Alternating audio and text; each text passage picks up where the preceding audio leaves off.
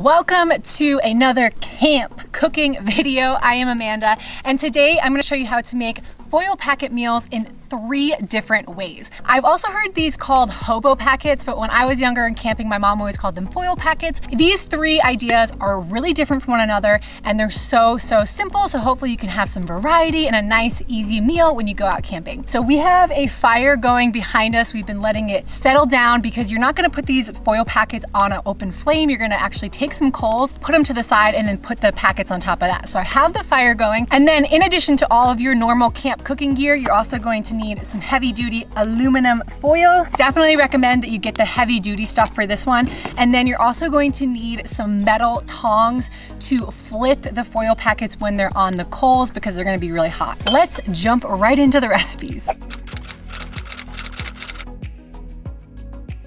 First up, we have turkey foil packets.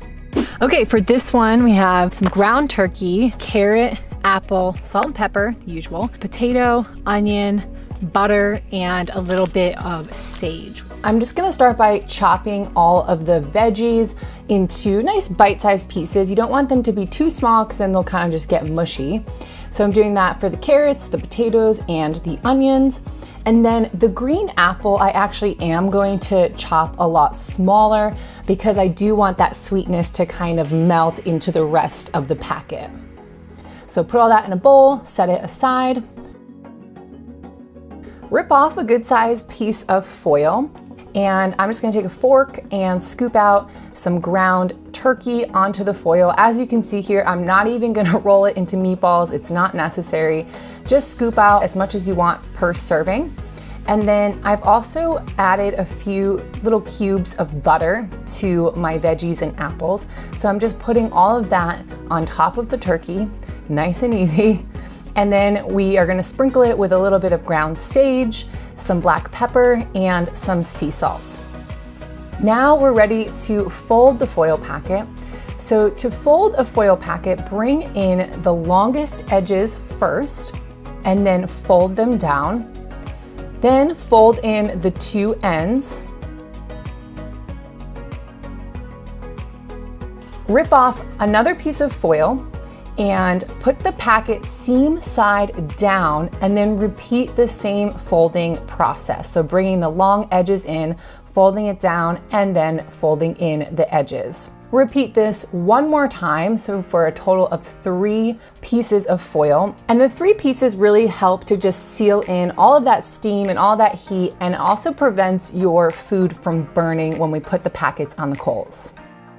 Next up, we have sausage foil packets.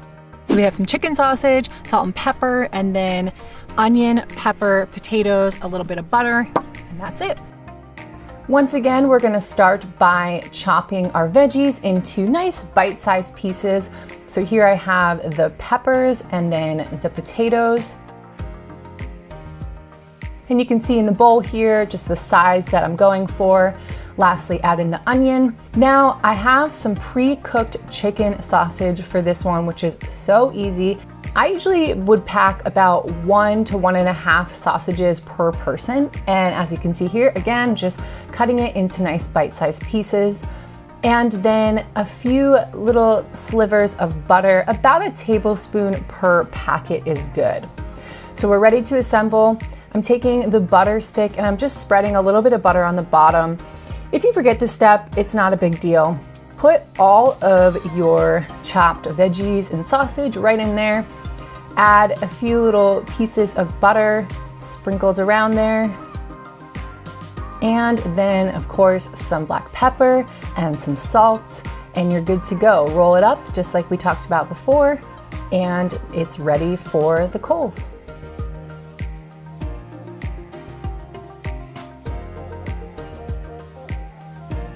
The last packet is a salmon foil packet. So this is one of my favorites. Here we have some asparagus, a lemon, salmon, and then I'm gonna throw some green onions in there and some rosemary. Start by chopping the green onions and leaving the little roots off. And then I've already trimmed and cleaned the asparagus at home, and so I'm just gonna cut that into thirds. But you can actually leave it whole, that works fine too. Lastly, I am slicing lemon into a few thin slices. Rip off a piece of foil and again, I'm just gonna spread a little bit of butter on there and lay down three slices of the lemon. On top of that, put a nice piece of salmon and then sprinkle around the asparagus and green onions on top. You can also use green beans in this one and that's really good too. And then I'm putting a few sprigs of rosemary on there and about a tablespoon of butter. Some fresh black pepper and salt and fold it up, again, bringing in the long edges first. Repeating that process three times, and the salmon packet is ready for the coals.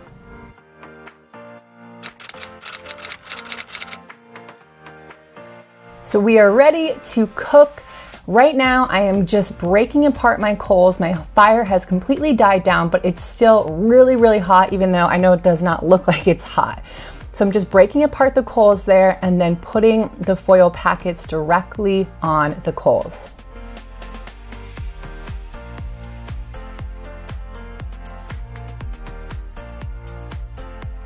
So we just put them on the fire and part of the fun with these foil packet meals is exact time for cooking is definitely gonna vary depending on the heat or I mean the temperature of your coals. What we're gonna do is rotate them about every 10 minutes just to get a nice even cook on them.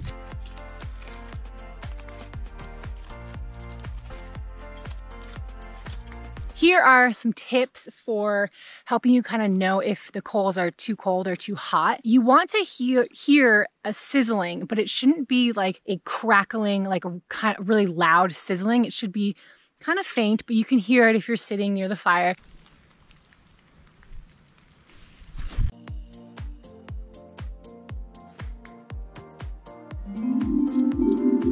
And now they're done.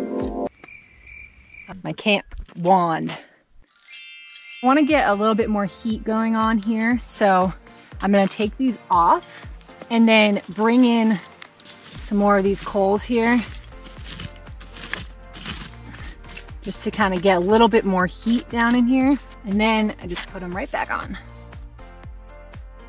Ours have been on the coals for about 40 minutes now, so we're gonna pull them off. It's really hard to give an exact time for how long they should be on there because it, there's so many factors, like how big you cut the veggies, how much you actually stuff into the foil. So like if you have a really, really big one, that's gonna take a little bit longer. And of course, how hot the coals are. Just have fun with it. You can always pull them off the coals, check things like the potatoes and carrots, which typically take a little bit longer. If they're not done, just throw them back on there. It's no big deal. It's really, really flexible and it's just part of the fun.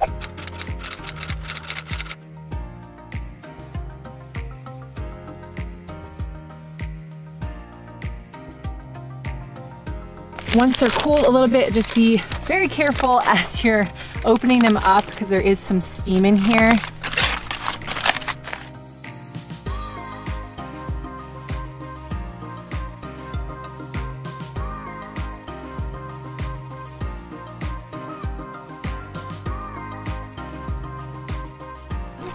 Ooh, yeah.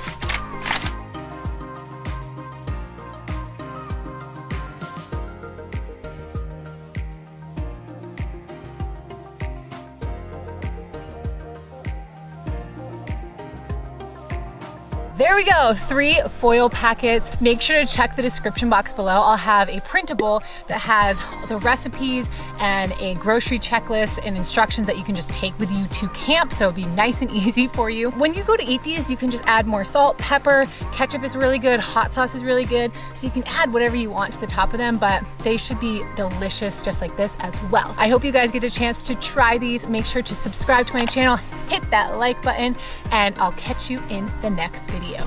Peace. All of the info. I'm falling apart. I just can't anymore. All right. Seeing, oh, seeing stars. Whoa.